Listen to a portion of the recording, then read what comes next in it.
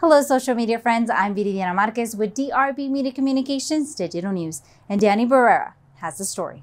The Ector County ISD Police, along with local law enforcement agencies, engaged in solo officer active shooter response training at the Whitaker building located on the west side of Odessa High School. Officers with the Odessa Police Department, the Texas Department of Public Safety, Ector County Sheriff's Office, the Medical Center Hospital Police Department, and Odessa Fire Rescue participated in the training. In Ector County, we've been practicing solo officer response for about four years now.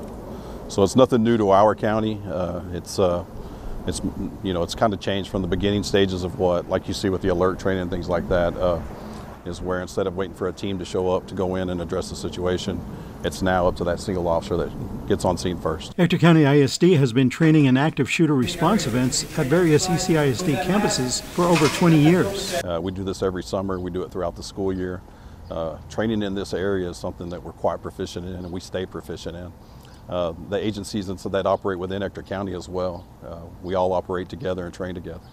So for our area, uh, I think we're very well prepared for, for what has come and what will come uh, in the future.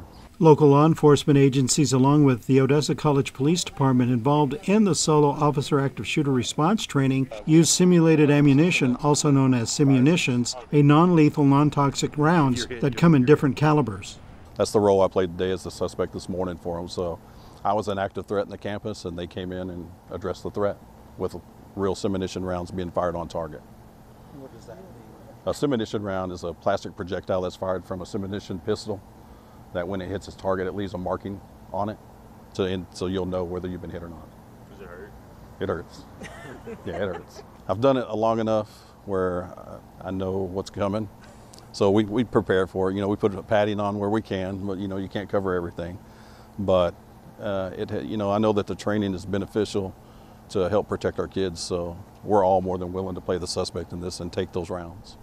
Assistant ECISD Police Chief Jeff Daniels says that Odessa and Ector County law enforcement agencies are very well prepared and staying prepared every day in the event of an active shooter event in an Ector County ISD school.